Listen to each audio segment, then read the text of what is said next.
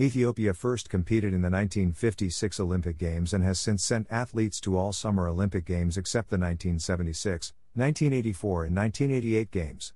Many Ethiopian athletes create unique groundbreaking moments that go back decades. From Abebe Bikila, who was an Olympic marathon champion, and Arota Haile Gebrselassie, who broke 61 Ethiopian national records, set 27 world records, and is considered one of the greatest long distance runners in history. In this episode, we are going to list the five greatest Ethiopian Olympians of all time in terms of medals won.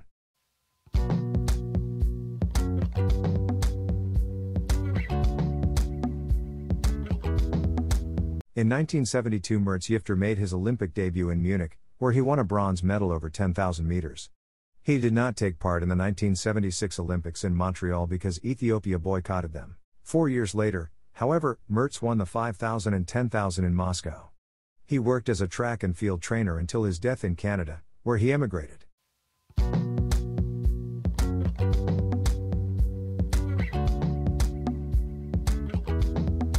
Derartu Tulu was the first black African woman to win Olympic gold at the 1992 Olympic Games in Barcelona.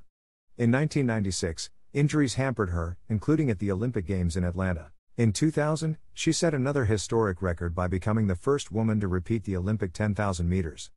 Her last major international track race came at the 2004 Olympics and won 10,000 bronze.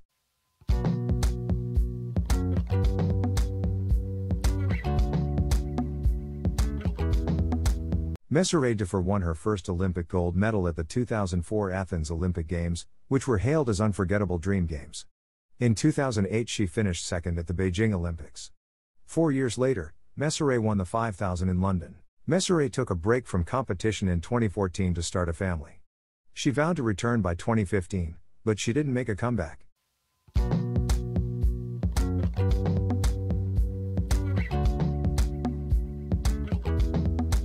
Tirunesh became the first woman to win both the 5,000 and 10,000 meters in the same Olympics at the 2008 Beijing Olympics. Four years later at the Olympic Games in London in 2012, she successfully defended her title over 10,000 meters. Tirunesh returned to the track in 2016 to qualify and run for the 10,000 meters at the Summer Olympics in Rio de Janeiro. For the first time since 2004, she has not competed in the Olympic Games in 5,000 meters. She is nicknamed Baby Face Destroyer.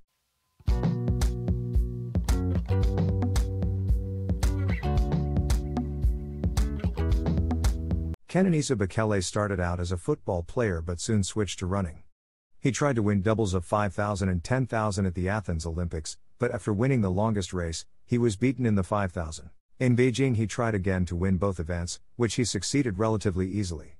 Kenenisa's biggest setback came in 2005 when his fiancée died of heart failure while training with him.